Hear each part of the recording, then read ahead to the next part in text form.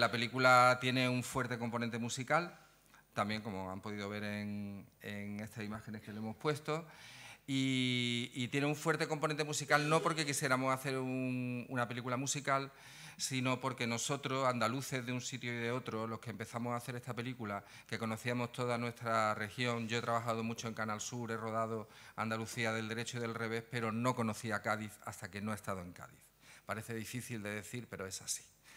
Y eh, entonces, una vez estuvimos en Cádiz, nos dimos cuenta el año pasado, haciendo casting de todas las mujeres que tienen que conformar esa despedida de soltera, que el gaditano, siendo esencialmente andaluz como todos nosotros, pero tiene una particularidad, que es que vive en un entorno de letras rimadas y de música. De manera que todas las mujeres que hicieron la prueba, todas cantaban, pero no es que cantaban como en la ducha, todas afinaban perfectamente y cantaban como diosas. Por lo tanto, no podía ser de otra manera, la música eh, eh, pasa a formar parte de la historia y de alguna manera, sin ser una comedia musical, pero tiene, eh, tiene pues muchísimos, muchísimos trozos musicales.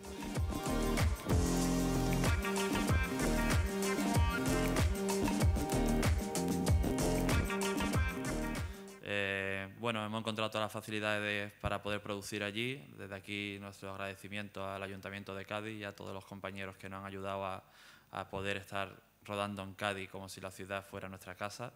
Y por supuesto esta película la hemos logrado hacer porque hemos tenido un equipazo increíble.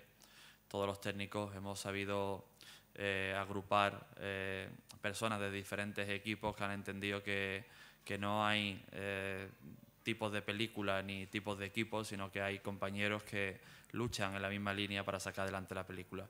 Y una de las cosas que estoy más orgullosa de, la peli, más allá de, por supuesto, el, talento artístico que hay involucrado en ella, con el reparto de actrices maravillosas y el, trabajo espectacular que ha hecho Antonio, los dos Antonios eh, dirigiendo la película, es que planificamos una película en unos tiempos y en unos costes y, gracias al esfuerzo de todo el equipo la película se ha hecho en ese tiempo y en esos costes. ¿no?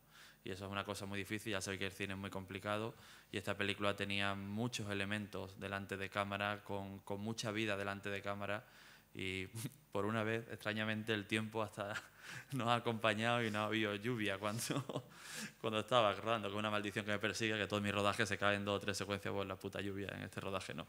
Entonces, deciros que estamos muy contentos, estamos, como bien dice Antonio, eh, deseando engranar las piezas, la película recién está terminada, necesitamos ver un poco cómo va a respirar ese montaje y nos quedan unos meses por delante de, de postproducción muy bonito, donde vamos a descubrir pues todas esas cosas que Antonio han estado, Antonio Heinz y Antonio Álamo han estado los dos sacando en el, en el rodaje.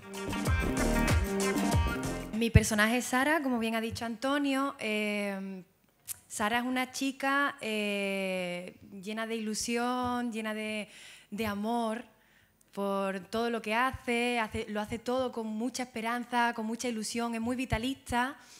Y, contamos la historia de, Sara a partir de su pedida de mano. Eh, entonces, como cualquier rito social, como es el, paso al matrimonio o como pueden ser otros ritos, para, Sara es un punto de inflexión en su vida y se cuestiona eh, qué es lo que deja atrás en esta etapa anterior y qué, y qué es lo que comienza, cuál es la nueva etapa en su vida y cómo la afronta. Entonces, bueno, pues la película se basa sobre todo en eso, en esas reflexiones, en, eso, eh, en esas dudas, eh, en esos cuestionamientos vitales que te da un rito, como puede ser el matrimonio, como pueden ser otros muchos. Y para mí el privilegio sobre todo de interpretar este personaje es porque en esta película sobre todo hay eh, mujeres que hablan, mujeres que se cuestionan, mujeres que reflexionan. Y la excusa era la despedida de Sara para que esas 18 mujeres se planteen cuál es su nueva etapa. Entonces, mm, para mí es un privilegio poder trabajar con tantas mujeres, eh, con 18, en la que, como bien ha dicho Antonio, eh, cada una tiene su, su trayectoria en la película, cada una tiene su reflexión propia, su, palabra, su voz. Y es una maravilla poder trabajar con mujeres eh, en la que una película sobre todo se centre en esos personajes, en personajes femeninos y, por qué no decirlo, mujeres andaluzas. La verdad es que Milagri, mm, que es la mujer que yo interpreto, eh, a mí me, yo lo leí y yo tuve la sensación de, de, tener un regalo. Como, hoy, pues es el personaje que, que, que una dice, ay, pues eh, siempre le toca a otro. ¿Por qué no me toca a mí hacer una mujer con tantas, con tantas posibilidades? ¿no? Y yo, en, en, este sentido, estoy como profundamente agradecida porque eh, ella basa su, su historia, lo, lo, que habéis podido ver es, es, poco, ¿no? pero ella basa su, su, su motor, es, es, la esperanza, ¿no? Eh, el, el milagro de ahí un poco su, nombre.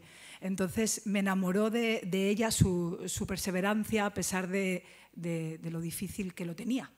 Y, y nunca caía, ¿no? Y esto, esta actitud de vida me, me inspiró a mí personalmente eh, para, para, contarla, para, para contarla al mundo. ¿no? Me parece que nos hace falta mucha esperanza y cada día levantarnos con, con un sueño ¿no? que cumplir. Entonces, eh, vivirlo con tantas mujeres, vivirlo en mi tierra, yo soy de Cádiz, eh, eso ha sido único, es la primera vez en mi vida que trabajo en Cádiz. Eh, llevo 20 años fuera, llevo 20 años en Madrid, soy de Jerez y, de repente ¿no? verme con tantas, como dice eh, Eloína, ¿no? con tantas mujeres, con tanta fuerza, con tanta verdad, había como dos películas paralelas, la película que se grababa y la que vivíamos todas ahí. Eso, eso no tiene nombre, vamos, eso no tiene precio.